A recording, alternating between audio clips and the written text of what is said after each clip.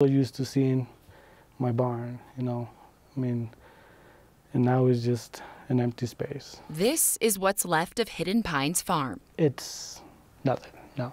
Those who kept their horses here called it the majestic Pony Palace. Physically, I feel good. Mentally, I'm destroyed. Eddie Soto Sanchez is property manager. He lives here, caring for the horses all day, every day. You just want to make sure, you know, you, everything is taken care of before me. He proved that Monday morning when the fire alarm started ringing. So I ran into the barn, opened the doors, run in, and this this dark, bleak, hot cloud of smoke just rushed out, and then I realized like it's a fire. 14 horses trapped inside, And as soon as I opened those first doors, then it was like an oven. burning his hands, rushing to open every stall door.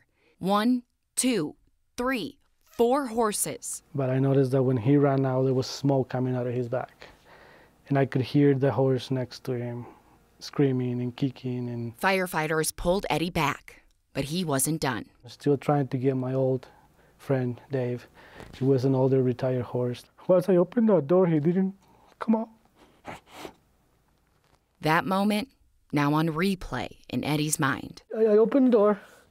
I called his name, and he just wouldn't answer it. And at that point, you know, they told me there's nothing you can do, and I keep yelling at them that there were still horses in there. The flames were too much. Paramedics took Eddie to the hospital, but all he wanted was to go back to the barn, which is what he's been doing every day since. And I keep going back to Dave's stall, to where, you know, I, I see him there, and I'm like, buddy, I mean, I tried, and you know I tried. makes me feel like I didn't do enough. Eddie says the four horses that did survive are doing well. Two are still at the animal hospital, the other two are now at a horse park.